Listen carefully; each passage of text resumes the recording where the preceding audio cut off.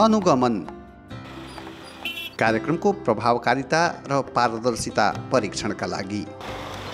बारा जिल्ला स्थित सुरक्षा निकायका प्रमुखहरू विकासका साझेदार संस्थाहरू अधिकारकर्मीहरू सञ्चारकर्मीहरू र नागरिक समाजका अगुवाहरू। सबै एकसाथ गाउँ बसे। एउटा सामाजिक संस्थाले सञ्चालन गरेको कार्यक्रमको अनुगमन गर्न जिल्लाकै प्राय सबै सरोकारवाला पक्षहरू यसरी गाउँ पसेको बाराको इतिहासमा सायद यो पहिलो घटना नै होला। सामुदायिक विकास कार्यक्रम सिडिपी नेपाल सरकार तथा बेलायत सरकारको आर्थिक सहयोगमा नेपाल ग्रामीण पुनर्निर्माण संस्था आरआरएनले सञ्चालन गरेको कार्यक्रम जो बारा जिल्लाको साबिक पन्ध्र गाविसमा सञ्चालित छ।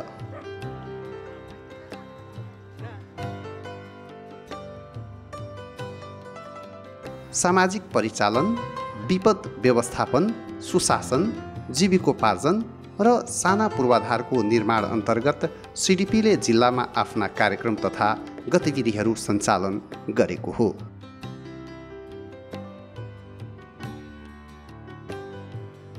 सामाजिक परिचालनको हकमा हामीले चाहिँ करिब करिब साढे सात हजार महिलाहरूलाई गरिब महिलाहरूलाई हामीले सङ्गठित गराएर दुई सय पचपन्नवटा नागरिक सेना केन्द्र गठन गरेका छौँ र प्रत्येक नागरिक सेना केन्द्रहरूमा हामीले चाहिँ विभिन्न खालका अभियानहरू रिफ्लेक्ट कक्षा मार्फत अन्तर्क्रिया मार्फत र्याली मार्फत यस्ता खालका क्रियाकलापहरू मार्फत मार्फत सामाजिक परिचालनका गतिविधिहरू अगाडि बढाइरहेका छौँ। हामीले उहाँहरूको चाहिँ आर्थिक अवस्थामा केही सुधार आओस् भनेर प्रत्येक नागरिक सेना केन्द्रलाई एक एक लाख रुपियाँ अनुदानको रूपमा हामीले दिएका छौँ घुम्ती कोषको रूपमा परिचालन गर्नको निमित्त। र उहाँहरूले अहिले करिब करिब सोह्र सयजना जति महिलाहरू त्यो पैसाबाट त्यो घुम्ती कोषबाट लोन लिएर उहाँहरूले सानातिना बिजनेसहरू सुरु गर्नु भएको छ।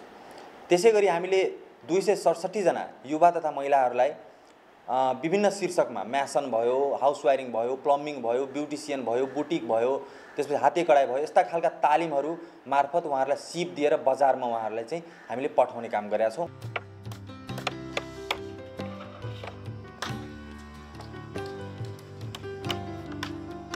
कार्यक्रम सञ्चालन हुन्छन्। यो कुनै ठुलो विषय नै होइन। तर त्यो कार्यक्रमले त्यहाँका जनतालाई के दियो वा समाजमा के प्रभाव पार्यो त्यो भने ठुलो विषय हो। अनुगमनको क्रममा यो टोलीको अगाडि ग्रामीण भेगका यी सर्वसाधारण महिलाहरूले व्यक्त गरेको यस प्रकारको भाव र अभिव्यक्तिले कार्यक्रमको सार तत्त्वलाई व्यक्त गरेको छ। सीडीपी संस्था हमनी के चले के लूर सिखैलक बोले के लूर सिखैलक बाल विवाह न करे के सिखैलक दर्जो पर्ता न सिखैलक हमनी के बहु बियाह न करे के सिखैलक अपना गांव घर में झड़ झगड़ा न करे के सिखैलक बर विवाद न करे के सिखैलक हमनी के सब महिला एक हो के अपना घर घर में सब मिल के महिला सन हमनी के का कहनी जे अपन टॉयलेट बनवानी सब। अपन घर के बच्चा के पढ़ाई लिखाई के आदत लगैनी। अब अपन अपन रोज़गार कह के खेती बाड़ी कह के हमनी के आमदनी बा।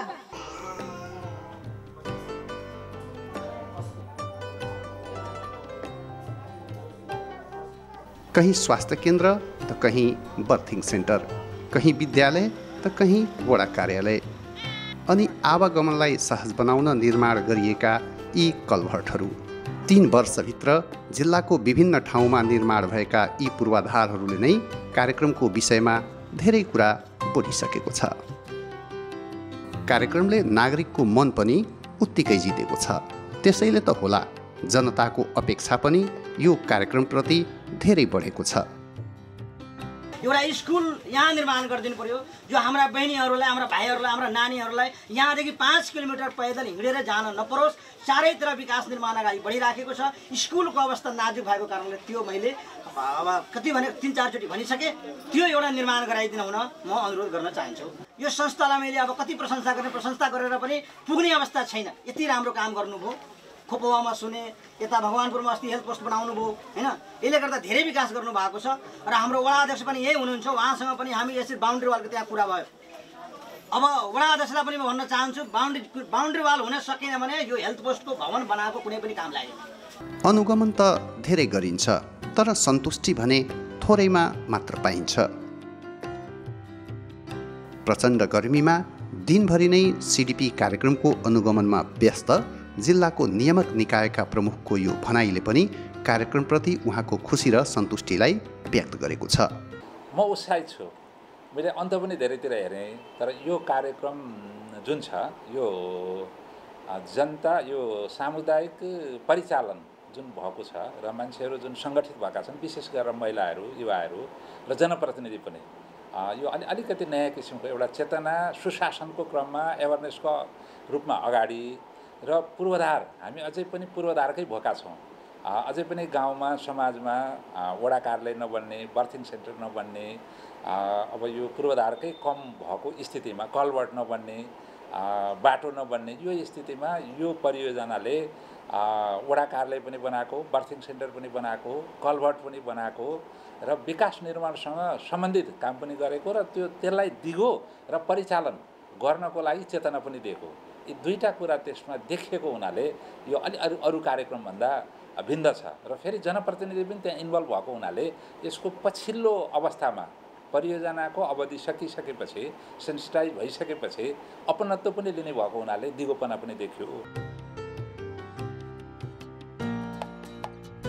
सामाजिक परिचालनको माध्यमबाट सुशासन र विकास सामुदायिक विकास कार्यक्रमको मुख्य उद्देश्य पारदर्शिता यो कार्यक्रमको सुन्दरता।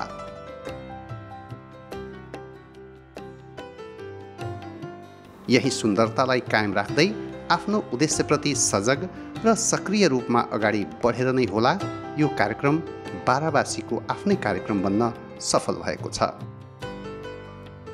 परियोजना सफल भएकोमा कार्यक्रमका टिम लिडर पनि अत्यन्तै खुसी र उत्साहित हुनुहुन्छ। पारदर्शिताहरू एकाउन्टेबिलिटीलाई कसरी चाहिँ इन्स्योर गर्न सकिन्छ भन्ने कुरालाई अभ्यास गराउने र त्यो गराउँदा गराउन हामी सक्षम भए जस्तो हामी लागेको छ। किनभने जति पनि ठाउँमा हामीले त्यस्ता भौतिक पूर्वाधार निर्माण गऱ्यौँ र त्यसमा चाहिँ नि रहनुभएका उपभोक्ता समिति र त्यसभन्दा मुनि पनि रहनुभएका छवटा विभिन्न समितिहरूमा संलग्न भएर स्थानीय जनसमुदायले गभर्नेन्स प्रक्रिया ट्रान्सपेरेन्सी र एकाउन्टेबिलिटीलाई चाहिँ राम्ररी ग्रहण गरेको जस्तो लागेको छ कार्यक्रमले सबैको मन जितेको छ। तर जनवरी दुई हजार पन्ध्रदेखि अक्टोबर दुई हजार अठारसम्म सञ्चालित यो कार्यक्रमको अवधि अहिले समाप्त हुने क्रममा छ। यसले एउटा निराशाको अवस्था पनि सृजना गरेको छ।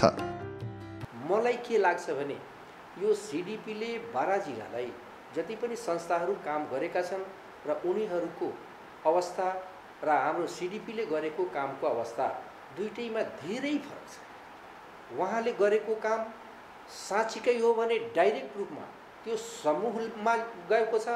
उहाँले यो सेवा दिइराखोस् भने म कामना पनि गर्छु र उहाँ गएपछि यो जिल्लाको विकासको जुन गति छ र उहाँबाट जति प्रभावित हाम्रो यो बाह्र जिल्ला छ त्यसमा धेरै कमी आउँछ।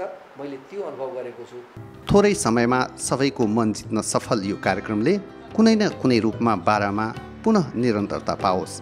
यो नै बारावासीको चाहना हो।